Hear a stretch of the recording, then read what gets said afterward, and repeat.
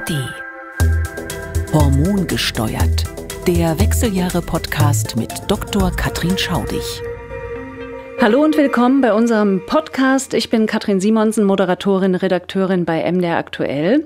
Und das ist der Podcast Hormongesteuert für alle Frauen vor, während und nach den Wechseljahren. Zusammen mit der Gynäkologin und Hormonexpertin Dr. Katrin Schaudig wollen wir alle Frauen zu Expertinnen ihres eigenen Körpers machen, damit sie selbstbestimmt entscheiden können, ob und welche Hilfe sie sich holen, um gut durch die Hormonumstellung zu kommen.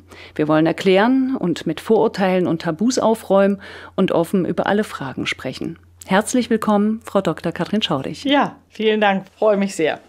Frau Dr. Schaudig, heute wollen wir uns mal Zeit nehmen zu schauen, was passiert da eigentlich in den Wechseljahren und wie erkenne ich auch, dass ich in den Wechseljahren bin. Die Schauspielerin Naomi Watts hat ja neulich in einem Interview erzählt, dass sie bereits mit 36 in die Wechseljahre gekommen ist. Ist das nicht ein bisschen früh? Ja, das ist in der Tat früh. 36 ist auch nach der Definition der Wechseljahre früh. Alles, was vor 40 ist, also wenn die Wechseljahre deutlich vor dem 40. Lebensjahr beginnen, spricht man von vorzeitigen Wechseljahren. Da muss auch abgeklärt werden, woran es liegt. Häufig findet man keine Ursache, aber manchmal eben doch. Alles, was jenseits der 40 ist, ist dann Normvariante. Also wenn eine Frau mit, mit Punkt 40 in die Wechseljahre kommt, sagen wir, mh, hm, ist jetzt relativ früh, ist aber nicht mehr als krankhaft zu sehen. 36 Jahre ist schon eine wirkliche Störung, wo man nachschauen muss. Mhm.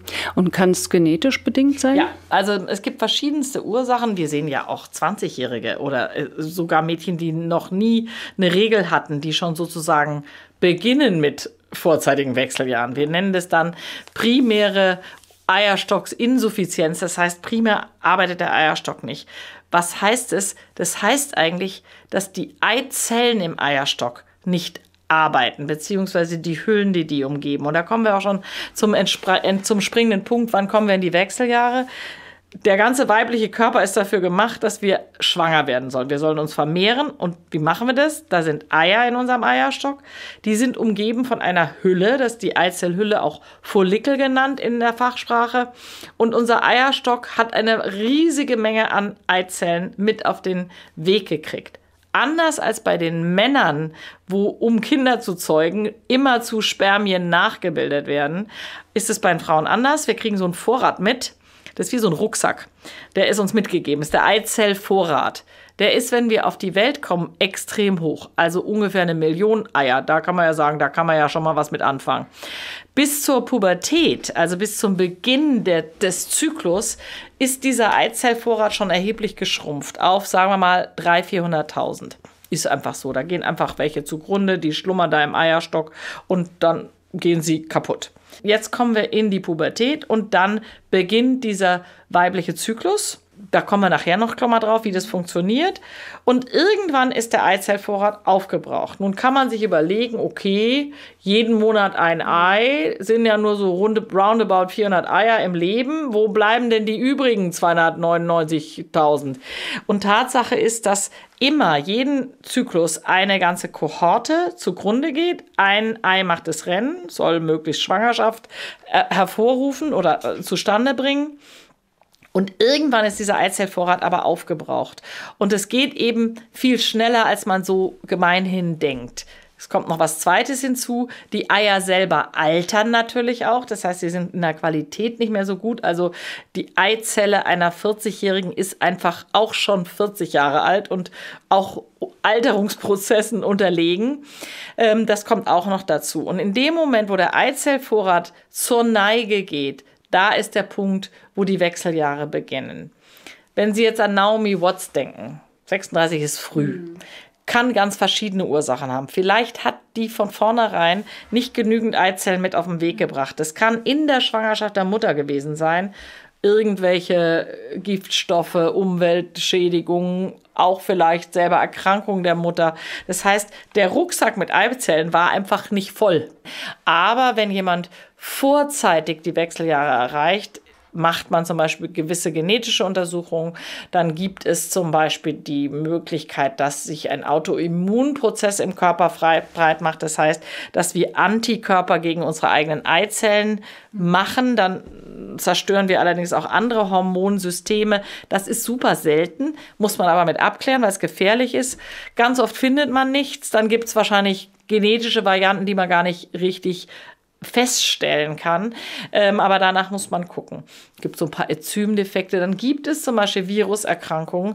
Bei Jungs wissen wir Mumps zerstört oder macht was mit dem Hoden, also zerstört die Zeugungsfähigkeit. Aber es gibt es auch bei Mädchen, wenn die Mumps kriegen im wahrscheinlich im Alter der Pubertät kann es sein, dass man in so eine verletzliche Phase der Eizellen rein grätscht und dann der Eizellvorrat vorzeitig zugrunde geht. Aber es gibt ja immer so Statistiken. Was ist sozusagen laut Statistik normal, ab wann in die Wechseljahre zu kommen? Also normal ist ab 40 und das hat was mit den Standardabweichungen zu tun. Und man kann sagen, gibt es auch ganz gute Zahlen dazu, vor dem 40. Lebensjahr kommt etwa ein Prozent der Frauen in die Wechseljahre und ähm, noch früher sind es dann nur 0,3 Prozent. Ähm, da gibt es ganz gute Statistiken zu wir gucken uns das auch an. Es gibt noch was, was wir vergessen haben zu sagen. Es gibt ja auch ähm, Gründe, zum Beispiel durch eine Bestrahlung oder eine Chemotherapie in Kindheit, Jugend oder auch als junge Frau. Da gehen leider auch Eizellen zugrunde. Also man muss sich immer überlegen, es geht immer um diesen Eizellvorrat, und der, der da in unserem Eierstock lagert. Und äh, der kann eben aus verschiedensten Gründen mhm. zu früh zu Ende gehen oder von vornherein nicht richtig angelegt sein. Vielleicht müssen wir kurz noch mal ähm, diese beiden Begriffe klären, äh, Wechseljahre und Menopause, die werden manchmal synonym auch verwendet, ja. was aber komplett falsch ist. Was eigentlich falsch ist. Ähm, wobei wir da ja auch dem englischen Sprachgebrauch zunehmend folgen. Also eigentlich ist in der medizinischen Fachsprache die Menopause die letzte Blutung im Leben einer Frau, der ein Jahr keine weitere spontane Blutung folgt. Das, und das nennt man die Menopause. Dieser Zeitpunkt ist im Durchschnitt in Deutschland bei zwischen 51 und 52 Jahren. Das heißt aber auch, die Hälfte der Frauen hat auch noch nach dem 51. Geburtstag noch weiter Blutungen. Das kann dann noch ein Jahr sein, ein halbes Jahr, kann aber auch noch mal im Einzelfall bis 60 sein. Ich habe Frauen, wo das Ganze bis 60 geht. Und genauso variabel ist es auch so, dass es auch mit 41 losgehen kann. Ja, das ist also völlig variabel. Das ist die Menopause. Und Wechseljahre oder auch Klimakterium bezeichnet die Jahre, die um diese Menopause rumgehen. Und es kann eben schon fünf, sechs, sieben Jahre vor der eigentlichen letzten Blutung beginnen. Das, und es geht meistens noch so die Übergangsphase definitionsgemäß so ein Jahr nach der Menopause. Und das ist eben das, was wir als Perimenopause bezeichnen. Ähm, und Klimakterium ist etwa gleichzusetzen mit den Worten Wechseljahre und Perimenopause. Es kann aber auch mal zehn Jahre dauern. Ne? Kann auch mal zehn Jahre dauern. Und da gibt es leider keine, keine Vorhersage, wie lange es dauern wird. Und während dieser Wechseljahre und vor allen Dingen während der Perimenopause haben viele Frauen ja äh, Probleme. Wir hatten uns in der ersten Folge unseres Podcasts darüber unterhalten, über die diversen Symptome, Schlaflosigkeit, ja. Hitzewallung, äh, Gelenkschmerzen, äh, Stimmungsschwankungen, Extreme. Und wie, wodurch kommen die zustande in diesen Wechseljahren? Können Sie erklären, was da sozusagen unser Körper macht? Ist es wirklich, weil die Hormone auf einmal weg sind? Ja, die Hormone sind eben noch nicht weg. Das macht es so tricky. Und es macht es auch so schwierig, das rechtzeitig zu erkennen. Also vielleicht muss man noch einen Schritt zurückgehen. Wir müssen uns immer überlegen, was passiert eigentlich in diesem Zyklus, den wir haben. Also ich sage jetzt mal, mit Beginn der Pubertät, da dauert es übrigens auch ein paar Jahre, bis das alles perfekt funktioniert. Und genauso dauert es ein paar Jahre, bevor das dann endgültig versiegt sozusagen. So, jetzt nehmen wir aber mal die Zeit zwischen 20 und 40. Das ist so, so der Höhepunkt unserer reproduktiven Zeit. Dieses ganze Theater mit den Eizellen und dem Eierstock und den Hormonen haben wir eigentlich nur, weil wir immer zu schwanger werden sollen. Das hat uns die Natur mit auf den Weg gegeben. So, was passiert da? Jeder Zyklus wird eigentlich immer nur von einer einzigen Eizelle bestimmt. Und was passiert? Am Anfang des Zyklus wird aus dem riesigen Pool an Eizellen eine ausgewählt. Warum jetzt gerade die eine das Rennen macht, das ist noch Gegenstand der Forschung. Man hat schon so langsam Ideen. So, die eine Eizelle macht das Rennen für den Zyklus. Und jetzt wird es ganz spannend. Diese Hülle der Eizelle, der Follikel, ist auch dasjenige, was für die Hormonproduktion eines einzelnen Zyklus zuständig ist. Das heißt, es macht nicht der ganze Eierstock Hormone, Also der macht schon auch ein bisschen Hormone, aber für den Zyklus, sondern im Wesentlichen diese Follikelhölle. So, was macht die? Zwei Wochen lang wächst der Follikel, wird immer größer und das erklärt auch, dass in dieser Zeit, da sind mehr Zellen an dem Follikel, da wird auch mehr Östrogen produziert. Das heißt, das Östrogen steigt, also wir fangen mal an, erster Zyklustag langsam an, nimmt so an Fahrt auf, so ab dem 10., 11. Tag steigt es exponentiell, der Follikel wird immer größer, Östrogen erreicht seinen Höhepunkt. Dann kommt das Signal vom Gehirn, aha, das Gehirn kriegt sozusagen von unten die Meldung, so, wir haben hier einen großen Follikel, es ist alles schick, der Östrogenspiegel hat den Höhepunkt erreicht. Dann kommt von oben ein Signal, das dem, dem Eibläschen das Signal gibt, platze und gibt das Ei frei. Das nennt man Eisprung. Eigentlich müsste es heißen Eiplatz und nicht Eisprung. Also das Eibläschen platzt, gibt das Ei frei. Das Ei wandert auf wirklich wundersame Weise in den Eileiter, wird aufgefangen von dem wie so ein Trichter. Dann wandert das Ei in den Eileiter, hofft, dass es dort ein Spermium findet, was inzwischen von unten den Weg gefunden hat. Dort findet die Befruchtung statt. Das Ei, befruchtete Ei, dafür ist es ja, wandert dann so langsam weiter, kommt erst nach fünf Tagen in der Gebärmutter an. Sowas ist inzwischen passiert. Dieser geplatzte Follikel formiert sich um zum sogenannten Gelbkörper. Der heißt auch Gelbkörper, weil er gelb ist. Wenn Sie ihn aufschneiden, ist er gelb. Da ist ganz viel Fettgewebe auch drin. Und der macht jetzt außer Östrogen auch noch ganz viel Progesteron. Und jetzt muss man sich fragen, was der Job von denen? Das Östrogen in der ersten Zyklushälfte baut die Schleimhaut auf. Wir sagen immer, Östrogen ist der Maurer an der Schleimhaut. So, jetzt ist das Eibläschen geplatzt, jetzt kommt Progesteron dazu. Jetzt ist diese Gebärmutterschleimhaut wunderhübsch aufgebaut für das Ei, also das Nest ist gebaut.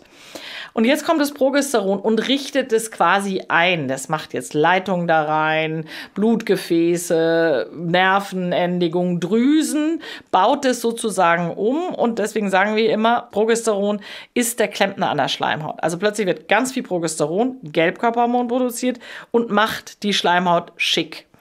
Fünf Tage nach dem Eisprung kommt jetzt hoffentlich ein befruchteter Embryo vorbei, also ein Embryo ist es dann schon, äh, vorbei, nistet sich ein dann passiert Folgendes, wenn dann dieses alles geklappt hat, Embryo nistet sich ein, dann vergehen ja nochmal so sechs, sieben, acht Tage und dann geht das Signal nach oben, aha, wir sind schwanger.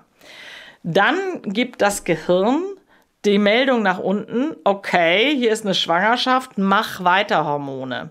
Dann gibt das Gehirn dem, diesem Gelbkörper den, das Signal, halte die Schwangerschaft aufrecht um alles in der Welt und dann geht nimmt die Schwangerschaft ihren Lauf. So. Wenn es nicht geklappt hat, also vielleicht weil kein Ei da war, weil kein Spermum da war oder weil überhaupt was anderes nicht funktioniert hat, dann geht nach dem Eisprung ziemlich genau 12 bis 14 Tage ein Signal nach oben, hm, hat leider nicht geklappt.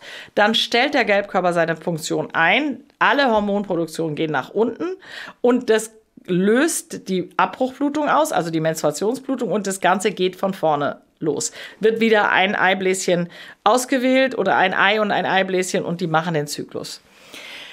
Wichtig ist, dass es einen ständigen Dialog gibt zwischen Hirnanhangsdrüse, und dem Hypothalamus, der sitzt im Zwischenhirn, der ein entscheidender Steuerungsfaktor für den ganzen Zyklus ist. Und die, wenn Sie so wollen, die telefonieren dauernd miteinander.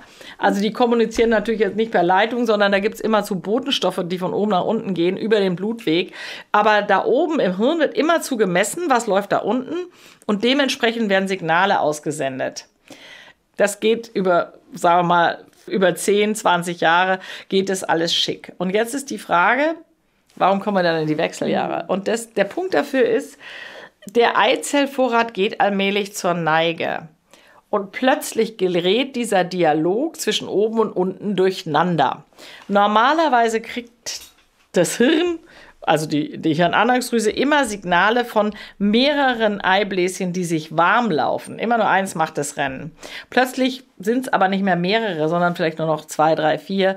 Und plötzlich gerät dieser ganze Dialog völlig durcheinander. Man kann das mal so sagen.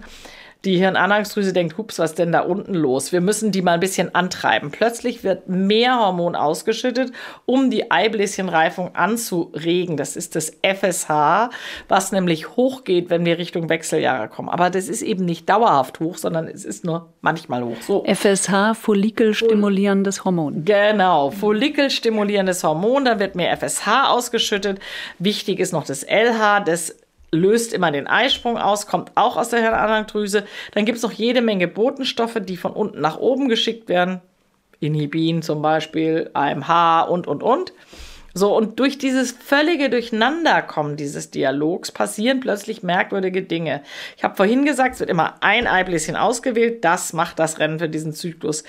Dadurch, dass plötzlich die Hirnanhangsdrüse gar nicht mehr so richtig weiß, was passiert denn da unten, geht plötzlich ein zweiter Follikel auf die Reise. Und zwar möglicherweise schon unmittelbar nach dem Eisprung, was eigentlich eine Situation ist, wo kein zweiter Follikel mehr reift. Das wäre auch Unsinn von der Natur, denn das wäre ja völlige Verschwendung von Ressourcen. Sowas macht die Natur nicht. Aber in dem Moment weiß die Natur irgendwie gar nicht mehr, wo geht's denn hier eigentlich lang. Das heißt, es kann sein, dass während dieser Gelbkörperphase zweiter Follikel reift, vielleicht auch noch ein dritter.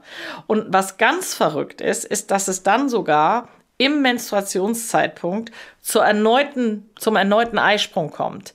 Das ist was, was eigentlich nicht geht. Das haben wir mal gelernt. Das sind sozusagen Gesetzmäßigkeiten ja. der weiblichen Reproduktion. Wann kann ich schwanger werden und wann nicht? Genau, ne? wenn man schon schwanger ist, kann man nicht schwanger werden. Warum sollte denn dann da nochmal ein Eisprung sein? Aber das macht der Körper. Und was dann passiert ist, da sind plötzlich mehrere Eibläschen am Start.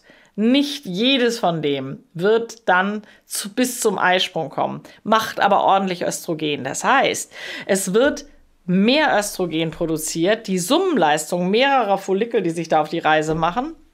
Folglich wird auch dann noch mehr Schleimhaut aufgebaut. Und dann wird es ganz verrückt. Mal hat man einen Eisprung, mal hat man zwei oder drei Eisprünge viel zu dicht hintereinander, dreimal hintereinander.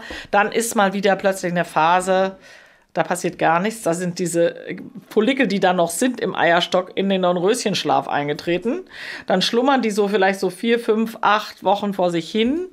Dann ist auch kein Östrogen da, weil wenn kein Eibläschen reift, gibt es auch kein Östrogen. Dann hat die Frau vielleicht plötzlich Hitzewallung, die sie sonst gar nicht hatte. Also weil da ist kein Östrogen, wenig Östrogen macht Hitzewallung.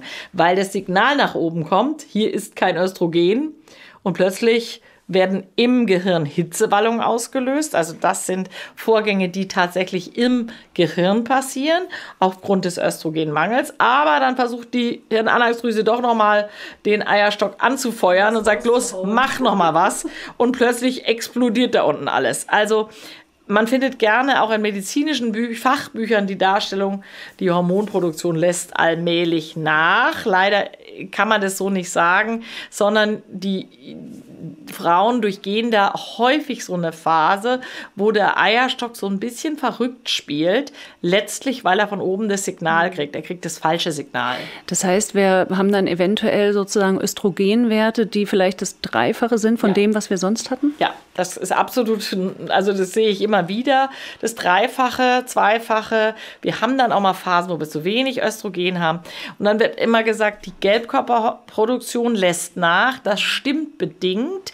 Also ich habe immer nur Progesteron nach einem Eisprung, wenn der Eisprung verspätet abläuft oder vielleicht nicht so richtig durchschlagend ist, dann habe ich auch ein bisschen zu wenig Progesteron. Und wenn der Eisprung dann auch mal ganz ausbleibt, dann habe ich eben gar keins. Aber es ist nicht so einfach zu sagen, ja, dann lässt so allmählich das Progesteron nach. Mhm. Wie merke ich das äh, zum Beispiel, dass ich so eine Östrogendominanz habe? Ja, das ist genau, das ist, wenn ich zu viel, also Sie haben das Wort schon gesagt, Östrogendominanz heißt einfach wie zu viel Östrogen. Ganz typische Symptome: Brustspannen, Wassereinlagerung. Östrogen bindet Wasser. Dann haben sie dicke Finger, können die Faust nicht mehr richtig machen, haben morgens dicke Lider an den Augen. Ähm, das sind alles typische Symptome einer Östrogendominanz. Und ich habe vorhin schon gesagt, die Hypophyse, die Hirnanhangsdrüse, versucht dann immer noch mal was rauszuholen, wenn es mal nicht funktioniert. Dann haben wir immer mal so Spitzen vom FSH. Die kann man aber nicht immer messen. Also das heißt zu sagen, wenn ich da nichts messen kann, ist alles in Ordnung, ist leider ein Trugschluss, sondern ähm, wir glauben so ein bisschen, dass es diese stark schwankenden Spiegel vom FSH sind, aber auch von den Hormonen da unten, die quasi sich negativ auf die Psyche auswirken. Und da gibt es auch Studien dazu, also die wahrscheinlich den, die Schlafstörungen auslösen, die die depressiven Verstimmungen auslösen. Dann gibt es so dieses Wort Brain Fog, also ein vernebeltes Gehirn. Das Konzentrationsschwierigkeiten. Extrem viele Frauen. Ja, genau. Mhm. Das hatten wir übrigens auch noch gar nicht gesagt. Genau. Merkfähigkeitsstörungen genau. und so, dass man plötzlich Wortfindungsstörung. Ja. Wahnsinn, ne? Ja, es ist verrückt. Und es hat was mit, diesen, mit diesem Durcheinanderkommen, dieses fein austarierten Dialogs zwischen Hirnanhangdrüse und dem Ovar zu tun, dem Eierstock. Ähm, irgendwann lässt dieses Verrücktspiel ein bisschen nach dann werden auch die Zyklusabstände häufig plötzlich länger. Aber wenn Sie sich überlegen, dass dieses Östrogen ja die Schleimhaut aufbaut, erklärt es auch, wenn ich plötzlich so wahnsinnig viel Östrogen habe, und das ist auch nochmal ein Symptom von zu viel Östrogen, dann habe ich plötzlich wahnsinnig starke Blutungen. Die können auch mal drei Wochen andauern. Oder ich habe alle zwei Wochen eine Blutung. Und was noch blöder ist, dann blutet die Schleimhaut nicht vom, komplett ab, sondern nur in oberflächlichen Schichten. Dann bleibt immer noch sowas stehen. Das heißt, es kann sogar sein, dass eine Frau zwei Wochen am Stück blutet wie verrückt und dann macht man Ultraschall, da ist immer noch Gebärmutterschleimhaut da, ja. Die blutet dann eben nicht komplett ab. Das ist ein echtes Problem. Ja, viele Frauen sagen auch, dass sie extrem starke Blutungen haben, ja. wie sie noch nie in ihrem Leben hatten. Ne? Genau. Also das ist ein ganz typisches Phänomen. Und Zysten, hängen die damit auch zusammen? Die Zysten sind eigentlich nichts anderes als Follikel, also diese Eibläschen, die zu Teil, zum Teil durch die Fehlsteuerung von oben zu groß wachsen. Aber man muss sich schon auch im Klaren sein, im normalen Zyklus hat man, wenn Sie so wollen, immer kurz vorm Eisprung eine Zyste von drei Zentimetern. Das ist ganz normal und natürlich. Nur wenn davon mehrere solche Zysten sind, weil zu viele Eibläschen plötzlich sich auf den Weg machen, dann haben wir mehrere Zysten. Dann sieht es der Eierstock plötzlich so aus, dass man denkt als Arzt oder Ärztin, oh mein Gott, die Patientin hat einen Eierstockskrebs. Und plötzlich nach vier Wochen macht man wieder einen Ultraschall und alles ist gut.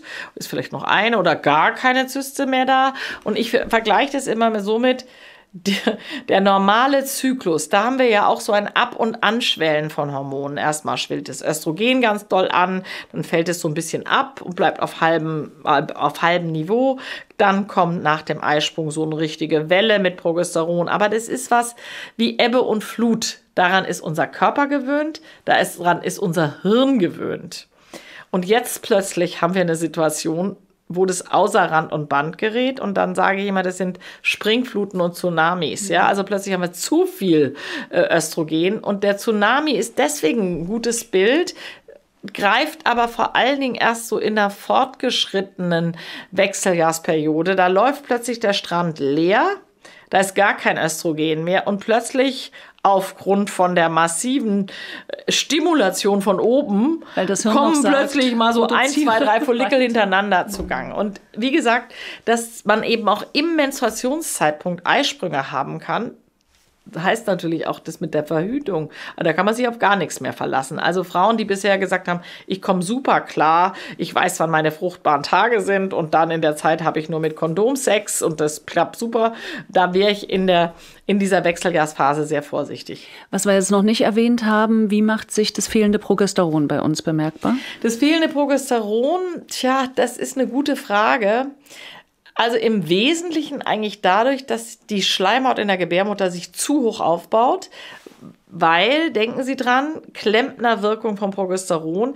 In dem Moment, wo Progesteron am Start ist, baut sich die Schleimhaut nicht mehr weiter auf. Das ist ein bisschen wie beim Hausbau. Wenn, wenn der Klempner kommt, hört der Maurer auf zu mauern. Ja, der setzt sich da in die Ecke, isst sein Frühstücksbrot und guckt mal so ein bisschen zu der Körper braucht das Östrogen noch in der Zeit, aber es wird geringer gebildet. Wenn das Progesteron wegfällt, dann mauert der Maurer fleißig weiter und die Schleimhaut baut sich zu stark auf. Und das Progesteron wirkt eben sonst auch diesem Brustspannen und auch dem Wassereinlagerung entgegen. Progesteron hat einen entwässernden Effekt. Ja, also das sind eigentlich die wesentlichen Aufgaben. Ich habe immer gehört, dass es an dem Progesteron liegt, dass ich dann so schlecht schlafen kann. Jein. Okay. Nein, so leicht, also einfach ist die äh, Gleichung leider nicht. Es ist tatsächlich so, dass wenn ich Frauen Progesteron zum Schlucken gebe, wohlgemerkt zum Schlucken, dann schlafen die besser. Das hat aber was damit zu tun, dass die Leber äh, das Progesteron aufspaltet und einen Stoff produziert, der heißt Allopregnanolon, der geht direkt ins Gehirn an einen Rezeptor, der GABA-Rezeptor heißt und hat eine schlafanstoßende Wirkung wie Valium. Das ist eigentlich ein ähnlicher, äh, ähnlicher Wirkmechanismus. Es ist also nicht so, dass Frauen wenn das so wäre, wie Sie sagen, müssten alle Frauen in der zweiten Zyklushälfte, nämlich der Gelbkörperphase, viel besser schlafen als in der ersten, weil in der ersten fehlt ja physiologischerweise das Progesteron. Jetzt fragen Sie mal Frauen, wann geht es denen am besten im Zyklus? Meistens kurz vorm Eisprung. Super viel Östrogen, gar kein Progesteron. Und da sind Frauen meistens am allerbesten drauf. Und da kommt gleich noch so eine Wirkung. Das Progesteron in der zweiten Zyklushälfte macht auch so einen gewissen sedierenden Effekt bei den Frauen. Die werden dann in Hamburg, sagt man, bräsiger. Also so ein bisschen mh, hm, entspannt. Entspannter, gelassener. Sedierter, mhm. gelassener. Es ist einem auch egaler. In der Schwangerschaft hat man zum Beispiel unfassbare Mengen von Progesteron. Also ich glaube, die Frauen, die schon mal schwanger waren, wissen, da interessieren auch einen manche Dinge gar nicht mehr so. Das ist einem eigentlich egal. Ähm, das ist schon ein Progesteroneffekt. Aber es ist jetzt nicht unbedingt so, dass es ein anregendes Hormon ist. Also dieser anregende Effekt kommt mehr vom Östrogen. Also um es jetzt ganz verkürzt zu sagen. Und das Progesteron, mh, hm, also brauchen wir eigentlich jetzt für unsere Stimmung und unser Wohlbefinden nicht so unbedingt. Und nochmal, es gibt keine Studien, die sagen, dass Frauen in der zweiten Zyklushälfte besser schlafen. Also der Schlafmangel oder der schlechte Schlaf in den, dieser Übergangsphase kommt vermutlich am ehesten durch diese starken Schwankungen. Man weiß auch, dass Frauen, die immer mal so eine FSH-Spitze haben, dass die schlechter schlafen. Das wirkt sich schlecht auf den Schlaf aus. Ähm, das ist relativ gut belegt. Also es sind die Schwankungen, die das Problem darstellen und dieser völlig durcheinander geratene Dialog zwischen oben und unten. Also Sie haben es ja jetzt wirklich äh, sehr bildlich erklärt. Unsere Hormone äh, fallen nicht, sondern kommen eigentlich komplett aus dem Gleichgewicht. Mhm. Und ähm, sozusagen, wir produzieren noch eitle Zyklen, auch zu viele Zyklen eigentlich. Ähm, ist das auch die Zeit, wo dann viele Frauen auch über Migräne zum Beispiel klagen oder über Schwindel und, und solche Sachen? Ja, der Schwindel, wie der genau zustande kommt, wissen wir nicht. Und es sind auch nicht so viele Frauen. Aber ich sehe immer mal welche, die sagen Schwindel. Die, das Migräne-Thema ist tatsächlich spannend, weil zu hohe Östrogenspiegel auch eine Migräne auslösen können, aber auch ein Abfall des Östrogenspiegels. Und ähm, das ist wirklich ein spannendes Phänomen. Und deswegen gibt es auch Frauen, die während der Wechseljahre verstärkt Migräneanfälle haben. Es gibt sogar wenige, die überhaupt das erste Mal in ihrem Leben in dieser Phase Migräne bekommen. Aber wir wissen ja auch umgekehrt, es gibt ja Frauen, die immer zum Zeitpunkt der Menstruation mm. Migräne kriegen mm. und zum Zeitpunkt des Eisprungs. Naja, was passiert da? Zum Menstruationszeitpunkt Zeitpunkt rauscht der Östrogenspiegel in den Keller. Und auch zum Ovulationszeitpunkt, also zum Zeitpunkt des Eisprungs, fällt der Östrogenspiegel mal kurzzeitig ganz doll ab, um sich dann einzufangen. Das sind die Momente, wo eine Migräne häufig ausgelöst wird, also sprich der rasante Abfall, aber auch umgekehrt plötzlich viel zu hohe Östrogenspiegel, die ja dann häufig auch gefolgt werden von einem dramatischen Absturz. Auch das sehen wir dann immer wieder. Die triggern die Migräne. Das mhm. sehen wir relativ oft, mhm. ja. Und welche ähm, Erfahrungen haben Sie gesammelt in Ihrem, Ihrer Praxis mit diesen Schlafstörungen? Ja, mit den Schlafstörungen, das ist, also mein, mir hat schon mein Doktorvater vor 40 Jahren gesagt, Schlafstörungen ist ein Frühsymptom der Wechseljahre. Und was auffällig ist, es gibt verschiedene Muster dieser Schlafstörung. Das häufigste Muster, da gibt es auch Studien zu, ist eigentlich diese Durchschlafstörung. Das heißt, die Frauen sind todmüde, die schlafen ein, ich sag mal um elf, und nach drei, vier Stunden wachen die plötzlich auf. Und die beschildern es auch so, das ist wie wenn es Ping macht im Gehirn. Und dann merken sie schon an der Qualität des Aufwachens, ich werde nicht wieder einschlafen können. Das ist dann so ein bisschen eine self-fulfilling prophecy. Denkt man, oh, ich weiß schon, das wird schon nichts. Nee, manche sagen auch, nee, ich drehe mich um. Alle Menschen wachen nachts mal auf. Meistens dreht man sich um und schläft weiter. In dem Fall ist es so, man dreht sich um, passiert nichts. Man dreht sich wieder um, passiert nichts. Guckt auf die Uhr, halbe Stunde vergangen, Stunde vergangen. Nach anderthalb bis zwei Stunden übermannt einen dann doch der Schlaf. Dann ist es aber schon vier oder halb fünf und um sechs klingelt der Wecker.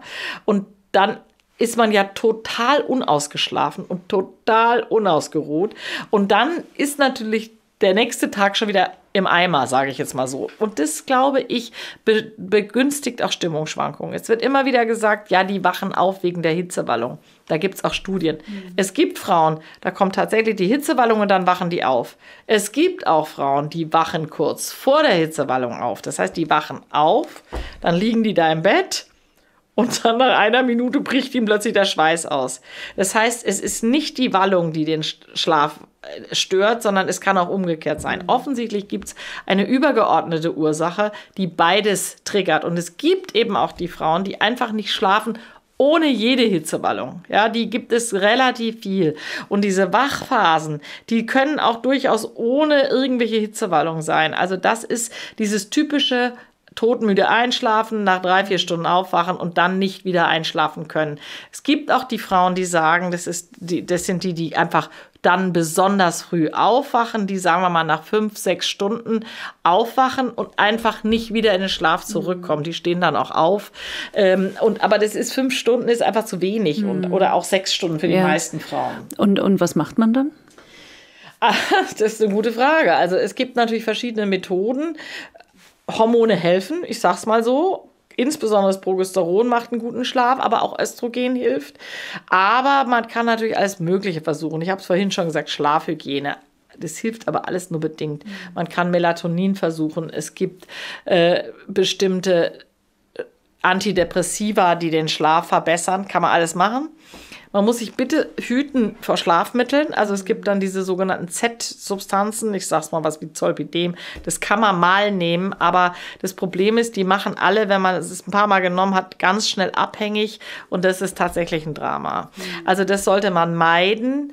Ähm, ansonsten ist das ein tatsächlich Riesenproblem, was sich auch wenn man sich noch so doll viel Mühe gibt, einfach oft nicht aber da können Sie auch keine Garantie geben, dass Sie sagen, auch wir nehmen abends 200 Milligramm Progesteron und dann äh, schlafen Sie wie ein also Baby. Also ich muss mal schon sagen, auch meine klinische Erfahrung ist, zeigt es auch die Studien, wenn es tatsächlich mit den Wechsel, wenn der Schlafmangel mit den Wechseljahren zu tun hat, dann wird es mit Hormonen besser. Und es muss eben nicht mal unbedingt das Progesteron sein, sondern auch eine ausreichende Östrogengabe. Und das erinnere ich in meinen ganz frühen Jahren, als ich selber noch ganz, ganz jung war und mit dem Thema selber noch gar nicht konfrontiert war, was ich inzwischen selber durchaus mal war, gebe ich ja mal offen zu, ähm, ist mir schon immer aufgefallen, dass wenn ich Patienten behandelt habe mit Östrogen, dass mit einer relativ niedrigen Dosis die Hitzewallung wegging aber dann haben die gesagt, aber schlafen tue ich immer noch schlecht. Da musste man einfach mit der Dosis ein bisschen hochgehen und plötzlich haben die gesagt, ja, es ist gut. Und ich sehe echt wahnsinnig viele Frauen, die dann sagen, ich bin ein neuer Mensch, ich schlafe wieder durch, auch nicht jede Nacht. Die Schlafqualität insgesamt nimmt ein bisschen ab im Alter, je älter wir werden. Aber dass dieses nächtliche Aufwachen, als wenn es Ping macht, das ist plötzlich besser. Hm. Äh, jetzt haben wir sozusagen die Perimenopause mhm. beschrieben. Also die Zeit, ja. wo alles komplett verrückt spielt, hoch und runter genau. geht und wir auch mal Östrogendominanz haben.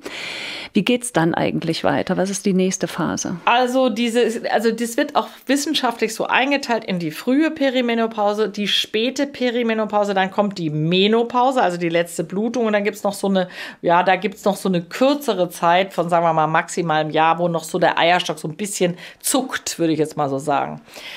Je weiter wir fortschreiten in diesem Prozess Richtung Menopause, desto seltener reifen Follikel. Das heißt, die Abstände von den Zyklen werden dann immer länger und wir haben zunehmend dann Phasen im vollen Östrogenmangel. Dann fangen wir an zu schwitzen. Erst dann kommt eigentlich die Phase typischerweise, wo geschwitzt wird. Irgendwann hört dann die Regel ganz auf und das heißt im Grunde so, jetzt reift kein Follikel mehr. Interessant ist, dass zu diesem Zeitpunkt immer noch so ein paar hundert Follikel im Eierstock so vor sich hin sch sch schlafen. Die sind irgendwo in der Tiefe. Das heißt, es kann selbst auch mal ein paar Jahre nach dieser letzten Periode sich ein Eibläschen aufmachen und sagen, ich will es jetzt noch mal wissen. Das sehen wir selten, aber das gibt es. Das muss man wissen. Mhm. Sieht man dann auch eine Zyste am Eierstock, vermeintlich ist einfach nur ein Follikel. Aber jetzt greift voll der Östrogenmangel. Da ist dann tatsächlich das Symptom der Hitzewallung dominant und das haben, kann man sagen, 60 bis 70 Prozent der Frauen. Insgesamt gibt es auch inzwischen Studien, dauern diese Hitzewallungen länger an, als wir dachten. Früher hieß es immer ein, zwei Jahre. Nee, im Durchschnitt sieben Jahre. Oh. Es gibt auch Frauen, die fangen deutlich vor der Menopause an zu schwitzen. Das sind aber besonders die, die ähm, eine Insulinresistenz schon haben und die vielleicht übergewichtig sind, die fangen tatsächlich früher an zu schwitzen und die schwitzen auch leider besonders lang. Aber in Mitte sieben Jahre, was ja bedeutet, dass es auch Frauen gibt, wo es deutlich länger deut äh, dauert als sieben Jahre. Ich habe auch Patientinnen, die ernsthaft mit 80 noch schwitzen und die aus irgendeinem Grund mal Hormone genommen haben, dann haben sie sie abgesetzt, dann halten sie es fünf Jahre aus und sagen so, jetzt reicht es mir, ich halte es nicht aus. Und wenn man denen dann Hormone mal gibt, was man eigentlich laut Leitlinien nicht tun sollte, aber ich habe dann Mitleid mit den Frauen, dann hören die auf zu schwitzen. Also das heißt, diese Hitzewallungen können im Einzelfall, und es sind sicher unter 10 Prozent der Frauen, aber ähm, ganz lange vorhanden sein. Dann gibt es ein zweites Symptom, was dann zunehmend greift, und das ist der lokale, also vaginale Östrogenmangel. Das heißt, die Scheide ähm, rutscht voll in dieses Östrogendefizit und das betrifft im Grunde 100 Prozent der Frauen. Aber es haben nur ungefähr 50 Prozent der Frauen wirklich Beschwerden. Interessanterweise bringen Frauen in dieser Lebensphase die Tatsache, dass jeder Sex wehtut, gar nicht mit diesem Östrogenmangel in Verbindung. Aber es ist ein ausschließliches Symptom. Was passiert? Durch den Östrogenmangel wird die Scheidenhaut immer dünner produziert nicht mehr das, den Zuckerstoff, den die Milchsäurebakterien in der Scheide brauchen als zur Ernährung. Das heißt, der Scheiden-pH geht weg vom sauren Richtung basisch, was ihn empfänglicher macht für Infektionen. Übrigens auch für Harnwegsinfekte. Jeder Sex tut weh. Und man muss so ein bisschen sagen, die Scheide mit Östrogen ist wie Samt und ohne Östrogen ist sie leider nicht mehr wie Samt.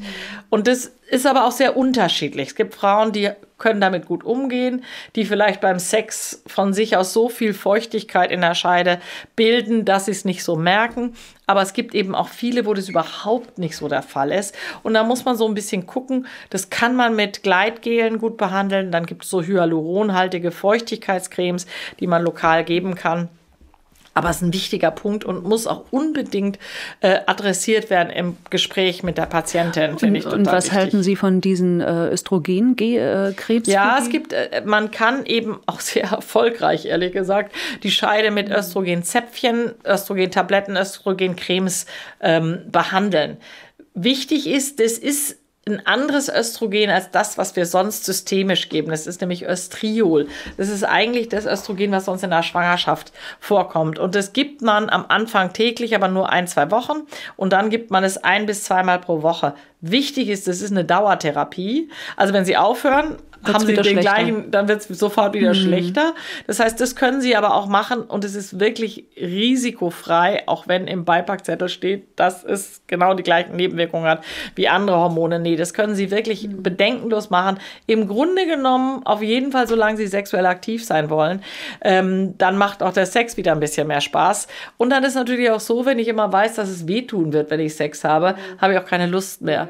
Das heißt, es verbessert die Gesamtsituation. Man hat mehr Lust, es ist besser durchblutet, es wird feuchter, man hat weniger Infekte und es tut nicht weh beim Sex. Naja, und die vielen äh, Blasenentzündungen sind natürlich ja. auch bei manchen Frauen echt ein Problem. Ja, und da gibt es auch, das ist auch durch Studien gut belegt, dass diese lokale Östrioltherapie ähm, da äh, wirklich gut Abhilfe schafft. Wir haben so ein paar Präparate mit dem klassischen Östrogen, was wir auch systemisch geben, die sind dann ganz niedrig dosiert, aber eigentlich verwenden wir überwiegend Östriol in dieser Phase. Mhm. Und hilft ganz gut, sagen Sie. Das hilft nicht nur ganz gut, es hilft ziemlich gut.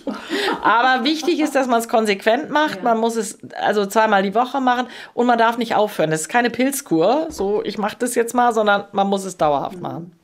Jetzt werden vielleicht einige Frauen sagen, naja, Wie finde ich denn raus, in welcher Phase ich mich gerade befinde? Äh, machen Hormontests sozusagen, solche Statustests, machen die Sinn? Sollte ich zu meiner Frauenärztin gehen und sagen, ich will das jetzt mal wissen, wo ich eigentlich stehe? Nee, das bringt so mittelfiel. Also wir machen das gelegentlich, wenn wir nicht so richtig sicher sind. Das Problem ist, wenn Sie sich überlegen, dass diese Werte alle so stark schwanken. Wir wissen immer gar nicht, das sind immer nur so Momentaufnahmen, so Schnappschüsse. Das heißt, es kann sein, dass ich eine Blutentnahme mache und es sieht, sieht theoretisch alles völlig normal auf, aus. Und dann ist das Problem, dann wird der Patientin gesagt, nö, die Werte sind alle ganz in Ordnung, aber der Patientin geht es nicht gut. Die Blutwerte bringen einen in manchen Fällen schon weiter, dieses FSH ist, je mehr wir in Richtung Menopause rutschen, ist das FSH schon immer häufiger mal hoch. Aber ehrlich gesagt, wenn ich eine 48-Jährige habe, die nicht mehr regelmäßig blutet und schlecht schläft und mhm. äh, schlecht drauf ist, da brauche ich gar keine Blutuntersuchung. Ne? Das sehe ich einfach. Also das Entscheidende ist eigentlich die Anamnese, wie wir sagen. Das heißt, was erzählt mir die Patientin? Und ich finde eigentlich ist total wichtig, dass es so ein paar Dinge gibt, auf die man achten muss. Zyklus ist nicht mehr so uhrwerkmäßig. Ich schlafe schlecht und ich, meine Stimmung ist irgendwie im Eimer und ich bin chronisch erschöpft. Ich finde, spätestens an der Stelle sollte man mal mit äh, dem Frauenarzt oder der Frauenärztin mhm. sich unterhalten, was kann man machen. Es ist tricky zu behandeln, weil was machen Sie mit den Schwankungen? Da kommen Sie mit dieser bioidentischen Therapie mit Östrogen und Progesteron häufig nicht wirklich weiter, weil Sie verhindern damit nicht die Schwankungen und es schwingt, schwankt weiter, leider auf höherem Niveau.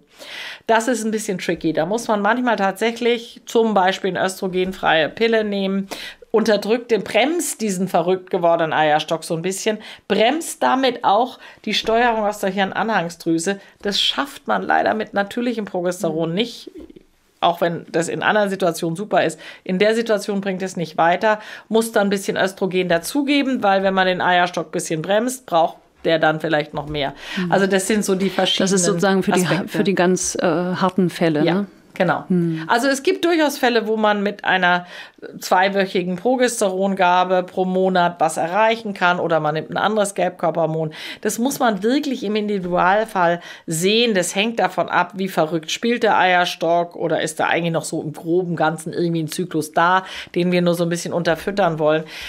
Das erfordert leider ein bisschen viel Erfahrung und man muss eigentlich dann auch regelmäßig sich die Situation nochmal anschauen durch einen klinischen Ultraschall, durch eine Befragung. Ähm, wir machen auch gelegentlich mal eine Hormonuntersuchung, aber eigentlich ist es nicht was. Die Patientinnen haben ja immer den Eindruck, der Arzt nimmt Blut ab und dann kommen so Werte raus und dann steht unten genau, was muss ich jetzt tun, wo stehe ich. Aber so ist es leider nicht. Welche Werte sollte man denn auf alle Fälle äh, testen lassen. Also Östrogen, Progesteron, FSH. Kommt und noch? LH. Das LH. sind eigentlich die, das sind die, das sind ja die sozusagen die Spieler, die den Zyklus machen. Mhm. Die LH und FSH steuern von oben. Kurz vorm Eisprung geht das LH steil nach oben, löst den Eisprung aus. Da ist FSH steigt nicht so an. In der zweiten Zyklushälfte könnte man mal gucken, habe ich genügend Progesteron und Östrogen in der ersten Zyklushälfte braucht man das eigentlich nicht. Aber ich muss das nochmal sagen, ich möchte eigentlich davor warnen, man braucht diese Hormonbestimmung nicht wirklich. Sie helfen einem manchmal, die Symptome ein bisschen besser einzuordnen. Aber es kann sein, es ist alles super in Ordnung und trotzdem geht es der Patientin schlecht. Also entscheidender ist wirklich die genaue Kranken oder ist ja keine Krankheit, sondern es ist genau die Abfolge der Symptome und die Dynamik. Und wenn man dann äh, eine Hormonersatztherapie begonnen hat, wäre aber schon gut ab und an das muss sich man auch da nicht. Da auch, da nicht. auch die Klinik, die Klinik, also die, wir sagen immer die Klinik, der, der klinische Eindruck, den die Patientin mir erzählt, der ist eigentlich das Entscheidende. Wir rufen unsere Hörerinnen ja auch auf, uns gerne Fragen zu schicken an unsere Mailadresse hormongesteuert.mdraktuell.de www.ftf.de. Ich habe auch Fragen schon mitbekommen von Kolleginnen. Und eine der Fragen ist, äh, die Kollegin ist 54, ihr wurde vor einigen Jahren die Gebärmutter entfernt und sie hat immer noch starke Hitzewallung, Schweißausbrüche. Mhm. Und sie würde eigentlich gerne wissen, wo, wo stehe ich denn jetzt? Bin ich schon in der Menopause oder bin ich noch in den Wechseljahren? Würde es für Sie Sinn machen, einen Hormontest mal zu machen? Ich würde es mal anders sagen hat die, wenn die vor der Entfernung der Gebärmutter noch ganz regelmäßige Zyklen hatte, dann könnte man das machen. Aber mal ganz ehrlich, nochmal, jemand, der 54 ist, Gebärmutter entfernt und schwitzt, da brauche ich eigentlich nicht zwingend einen Hormontest. Das ist so. Die wird niedrige Spiegel haben mit 54. Die Gebärmutterentfernung äh, katapultiert auch den Prozess, diesen dynamischen Entwicklungsprozess sowieso ein bisschen nach vorne. Also ich würde nicht um, nee, mit 54 würde ich sagen, Sie haben Hormonmangel, ähm, Sie kriegen Hormone. Okay. Und, und, und sie braucht auch nur, also wenn sie so stark leidet und alles ja. andere schon probiert ja. hat, was wir noch gar nicht erwähnt haben, kognitive Verhaltenstherapie ist ja auch nochmal sowas, was man machen kann. Pflanzenhormone und so. Aber wenn das alles nicht hilft und die Patientin sagt, ich will jetzt Hormone, dann gibt man der einfach ein Östrogen dazu. Bei ähm, Frauen ohne Gebärmutter gibt man kein Gelbkörperhormon dazu. Mhm. Nur in Ausnahmefällen. Mhm. Äh, weil Sie gerade pflanzliche Hormone gesagt haben, mit was haben Sie da gute Erfahrungen gemacht? Also man muss zwei Sachen unterscheiden. Das eine sind Phytoöstrogene, also Pflanzenöstrogene und Substanzen, die nach allem, was wir wissen, nicht über den Östrogenrezeptor funktionieren. Das letztere ist die Traubensilberkerze oder Cimizifuga. Da gibt es eine ganze Reihe von Präparaten. Damit haben wir gute Erfahrungen. Das läuft halt nicht über den Östrogenrezeptor, sondern wahrscheinlich über über diese Steuerungsprozesse im Gehirn. Das hilft bei leichten bis mittleren Wechseljahrsbeschwerden durchaus, auch ein bisschen auf den Schlaf, auf die, auf die Hitzewallung. Und dann gibt es jede Menge von Pflanzenpräparaten, die ganzen Sojaprodukte, ähm, Hopfen, Rotklee, äh, sibirische Rhabarberwurzel, kann man die Liste, kann man endlos mhm. wegmachen. Da muss man aber schon wissen, das sind Substanzen, Pflanzenstoffe, die gehen an den Östrogenrezeptor. Da muss ich mich dann fragen, hm, könnte doch auch, ähm, dann kann ich auch gleich ein Östrogen nehmen. Also ich bin jetzt mal ketzerisch, ja. Auch dieser, was die eigentlich genau am Rezeptor machen, ist nicht so wirklich gut untersucht. Und man muss auch sagen, die Wirksamkeit ist sehr moderat. Nichts, leider ist es so, nichts hilft so gut wie die Hormone. Wenn jemand Hitzewallung hat und nimmt Hormone, dann sind die nach drei, in einer ausreichenden Dosis sind die Hitzewallungen in aller Regel nach drei, vier Tagen fast mhm. verschwunden. Das werden sie mit keinem Pflanzenpräparat erreichen. Aber es erleichtert die Symptome oft und die Patientinnen sagen dann, damit kann ich gut leben. Ja. Man muss es, kann es ja. ausprobieren. Ja. Gibt es eigentlich auch ähm, Medikamente, die vielleicht sozusagen mich schneller in die Wechseljahre oder in die Menopause katapultieren? Also zum Beispiel hohe, äh, so hochdosierte äh, Cortisonprodukte nee. oder mhm. äh, Krebstherapien? Das Krebstherapien, das ist mhm. eigentlich das Entscheidende. Also wenn das eine Krebstherapie ist, die also ich muss mal anders sagen, Krebstherapien sollen ja Zellen zerstören. Und leider differenzieren ja diese äh, Krebstherapien nicht so richtig zwischen den guten und den schlechten Zellen. Deswegen hat man ja auch die Nebenwirkung bei einer Chemotherapie. Und es gibt bestimmte Chemotherapien, die quasi auch die Eizellen dann zerstören. Und wenn wir uns überlegen, wenn der Eizellvorrat aufgebraucht ist, kommen wir in die Wechseljahre, dann sind es genau die. Also gerade Brustkrebspatienten, die zwischen 40 und 50 eine Chemotherapie bekommen, haben dann häufig plötzlich nach der Chemotherapie, sind die voll in den Wechseljahren, haben mhm. keine Eierstocksfunktion mehr. Mhm. Jetzt waren wir sozusagen in der Menopause angekommen. Wenn es nicht mehr hoch und runter geht, sondern langsam abflacht, ist irgendwas dann komplett weg von Östrogen und Progesteron? Das ist alles beides weg. Beides Komplett. weg? Beides weg. Komplett weg? Komplett. Was ist eigentlich mit Testosteron? Darüber haben wir noch gar nicht geredet. Ja. Das verschwindet, glaubt dann ein bisschen später, ne? Ich, ich, muss da trotzdem einmal noch aufs Östrogen und Progesteron kommen. Also es ist einfach so, Sie müssen immer sich überlegen, das Östrogen und Progesteron kommt immer nur aus dem Eibläschen. Es kommen mini, minimale Mengen, ein bisschen aus dem Eierstock, ein bisschen aus der Nebennierenrinde, aber fast nicht messbar. In dem Moment, wo kein Eibläschen mehr reift, habe ich weder Östrogen noch Progesteron. Das ist einfach null. Und es wird auch so bleiben. Das heißt, wenn eine 60-jährige Frau kommt, die vor zehn Jahren die letzte Regel hat, sagt, ich hätte gerne mal einen Hormonstatus, das, das weiß ich genau, wie der aussieht. Die hat ganz viel FSH, das ist das follikelstimulierende Hormon, denn die Hypophyse, die Anhangsdrüse, wird den Rest des Lebens nicht kapieren, dass aus diesem Eierstock nichts mehr rauszuholen ist. Die gibt nicht auf. Die Hirnanhangsdrüse produziert FSH bis ins hohe Alter und denkt, es muss doch noch was werden. Nein, es wird leider nichts mehr. Da ist sie ein bisschen doof, die Hypophyse, ehrlich gesagt. Aber so, und, äh, und in dem Moment, wo ich kein Eibläschen habe, habe ich natürlich auch kein Progesteron mehr. Ja, so, das ist das eine. Das Testosteron, das ist interessant. Das Testosteron ist am höchsten in unserer späten Teenagerzeit. Da haben wir die höchsten Spiegel. Und ab da geht es eigentlich kontinuierlich ein bisschen runter. Frauen haben deutlich weniger Testosteron als Männer. Aber trotzdem gibt es so diesen Abfall. Aber es gibt keinen Knick zum Zeitpunkt der Menopause. Das heißt, das geht so kontinuierlich ein kleines bisschen nach unten. Nun gibt es Frauen, die haben schon von vornherein weniger Testosteron als andere und dann erreichen die schneller den Nullpunkt und umgekehrt. Es gibt Frauen, die immer so ein bisschen mehr noch haben. Es kommt ja auch männliches Hormon aus der Nebennierenrinde, was durch die Wechseljahre überhaupt nicht beeinflusst wird. Ähm, das nimmt alles allmählich ab. Anders ist es, wenn die Frauen die Eierstöcke entfernt kriegen. Dann haben sie tatsächlich akut einen Testosteronmangel, denn dann kommt auch aus den Eierstöcken keins mehr. Aber das Testosteron selber aus den Eierstöcken lässt eigentlich mit der Menopause nicht akut nach, sondern ist weiter vorhanden. Was auch die Ursache ist, dass manche Frauen dann zum Beispiel mehr Haarausfall kriegen oder mehr Pickel, weil im Verhältnis haben sie äh, zu viel Testosteron und zu wenig Östrogen, was vorher sich immer so ein bisschen ausgeglichen hat. Das sind diese sogenannten Hexenhaare, dass man Haare mehr am Kinn hat oder sowas. Also es sind so, so ein paar Dinge, die einfach plötzlich zunehmen. Und äh, wenn die Hormone dann weg sind, was passiert dann in unserem Körper? So die nächsten 30 Jahre, die wir wahrscheinlich dann noch leben werden? Tja, das, das ist eine gute Frage. Also wir haben ja einen Teil auch schon im letzten Podcast erwähnt.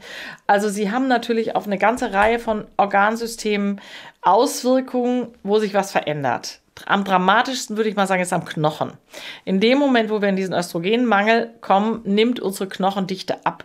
Und jetzt hängt es natürlich damit zusammen, wenn ich von vornherein eine super Knochendichte habe und die nimmt dann ab, dann ist nicht so schlimm. Aber wenn meine Knochendichte von vornherein nicht so richtig toll war, dann komme ich irgendwann in einen Bereich, wo ich ein höheres Risiko für Knochenbrüche habe. Und die Knochenbrüche sind schon ein Fakt, der das Leben dramatisch beeinflussen kann. Zum Beispiel Wirbelkörperbrüche. Da, da sackt die Wirbelsäule so in sich zusammen. Es entsteht der typische Rundrücken, wo dann ältere Frauen sich so nach vorne beugen. Mhm. Und es ist jetzt nicht nur vielleicht, dass es nicht so schön aussieht, sondern es tut saumäßig weh und es schränkt die Mobilität ein. Und das andere ist, an, einem, an den Folgen einer Schenkelhalsfraktur, also einem Bruch, sterben fast so viele Leute wie an Herzinfarkt und Schlaganfall. Nur, das geht nicht als Todesursache Schenkelhalsbruch ein, sondern die kriegen dann eine Lungenembolie, eine Lungenentzündung und so weiter. Und es hat natürlich auch einen enormen Einfluss auf die gesamte Lebensqualität. Gott sei Dank geht es auch oft gut, so eine Schenkelhalsfraktur, aber eben nicht immer. Und das Herz macht dann mehr das Probleme. Das Herz ne? macht ja, wobei da streiten sich die Geister. Also es wird ja immer wieder diskutiert, dass die Östrogene einen gewissen schützenden Effekt am Herz haben. Ähm, ich sage es jetzt mal so, es wird kontrovers diskutiert. Ich würde schon sagen, dass man das, dass man das sagen kann das ist natürlich auch ein Teil des Alterungsprozesses. Ich meine, unser Herz-Kreislauf-System altert einfach und wird schlechter, verkalkt. Und dem können sie auch mit noch so viel Östrogen nicht wirklich einen Riegel vorschieben. Vielleicht altert man dann langsamer. Die Datenlage ist so mittel dafür, äh, aber da haben wir tatsächlich ein Problem. Aber tatsächlich ähm, hatte ich gelesen, dass Frauen dann irgendwie deutlich häufiger an Herzinfarkt sterben ab einem gewissen Alter, also mehr als die Männer. Also sonst ist ja immer Herzinfarkt war immer so die Männer-Todesursache. Ja, die Frauen holen dann die Männer ein, ja. Und es kommt sicherlich auf die Population an und auch auf die Volksgruppe und so weiter, ob es dann wirklich mehr werden bei den Frauen. Aber äh, sie holen auf. Sie holen tatsächlich auf. Und das nächste Problem ist, dass bei Frauen die Herzinfarkte zu spät erkannt werden. Also die gehen auch zu, zu langsam oder zu spät zum Arzt. Und es sind andere Symptome, ne? Es ist nicht Symptome. so, dass der ja. Arm schmerzt, ja. sondern Schwindel, ne? Und Übelkeit und, manchmal. Ja, und, oder mhm. Oberbauchschmerzen mhm. und so oder Rückenschmerzen und so. Also es ist sehr unterschiedlich, mhm. ja. Hm. Ich meine, da gibt es ja auch Forschungsgruppen, Frau Professor Seeland zum Beispiel aus, aus der Charité, die wir auch zu unserer Menopausentagung eingeladen haben und die kommen wird, die eben sagt, es gibt eben in der Medizin deutliche Unterschiede, gerade was den Herz-Kreislauf-Bereich anbelangt, zwischen Männern und Frauen. Da bin ich jetzt nicht die Expertin, das kann ich Ihnen auch nicht so gut erklären. Hm, aber die gibt es und das muss man im Grunde auch bei der Therapie berücksichtigen es könnte sein, dass wir tatsächlich nochmal Studien und Forschungsergebnisse haben, dass wenn Frauen direkt mit Einsätzen des Östrogenmangels, mit Östrogenen beginnen, einen doch einen Schutzeffekt fürs Herz mitnehmen. Es gibt durchaus ein paar Daten, die in diese Richtung deuten. Die werden dann von anderen Experten wieder angezweifelt, wie das so ist in der Medizin. Mhm. Ich persönlich gebe zu, dass ich schon an diesen gewissen protektiven Effekt glaube, aber glaube heißt nicht wissen. In der Medizin wollen wir es ja genau wissen. Also es kann gut sein, dass es da nochmal Studien geben wird. Mhm. Dass also dass es Schutzeffekt vielleicht haben. günstig wäre, sozusagen ja. auch nach der Menopause so geringe Dosierung. Ja, aber da, sie gehen natürlich damit, das muss man immer abwägen je länger sie Hormone haben, auch Östrogen und Progesteron, das gilt auch für die bioidentische Therapie, kaufen sie sich ein leicht erhöhtes Brustkrebsrisiko ein. Ja, Brustkrebs ist irre häufig, ist übrigens ein Alterskarzinom. Also der Altersgipfel ist bei 70, nicht bei 50, wie die Frauen immer glauben. Mhm. Ähm, und das müssen sie abwägen. Ja, also man muss es durchaus offen diskutieren ähm, und auch so ein bisschen gucken, welche Risiken bringt jetzt die Patientin denn eigentlich mit. Äh, also das ist ein Abwägen, aber im Moment nochmal, wir sind noch nicht da, dass wir Hormone zur Prävention geben vielleicht eine kleine Einschränkung, was die Knochen anbelangt. Also wenn Frauen tatsächlich eine Osteoporose haben oder, oder eine Osteopenie, das ist die Vorstufe, und sie vertragen andere Medikamente nicht, die zur Osteoporose-Therapie zugelassen sind, dann ist es auch völlig legitim, dann zu sagen, okay, wir probieren es mit Hormonen. Und geht das auch noch, auch wenn die Menopause schon eine Weile zurückliegt? Ja, ja interessanterweise ja. Hm. Also der Knochen braucht, also ich sage immer, beim Knochen ist es so, Sie brauchen Kalzium und Vitamin D für den Knochen, aber sie brauchen auch Östrogen. Das ist ein bisschen wie beim Autofahren wenn Sie kein Öl im Tank haben, das wäre jetzt das Kalzium und das Vitamin D, fährt Ihr Auto nicht, ja. Aber um nach vorne zu kommen, brauchen Sie Benzin. Und das Östrogen ist so ein bisschen das Benzin. Und es verhindert den Knochenabbau und hat auch einen gewissen knochenaufbauenden mhm. Effekt. Mhm. Und wenn das Östrogen abfällt, dann geht der Knochen eben langsam, aber sicher, wird der immer dünner und brüchiger. Und das ist schon ein dramatischer Effekt. Mhm. Für heute sage ich nun erstmal Danke an Dr. Katrin Schaudig. Ja. Hat wieder viel Spaß gemacht. Ich sage auch Danke an Sie. Und wenn es euch gefallen hat, was wir hier tun, dann abonniert doch unseren Podcast und erzählt es euren Freundinnen, Schwestern, Müttern, Töchtern und Kolleginnen weiter.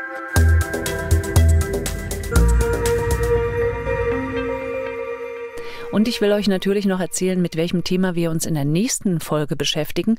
Da geht es um die Hormonersatztherapie.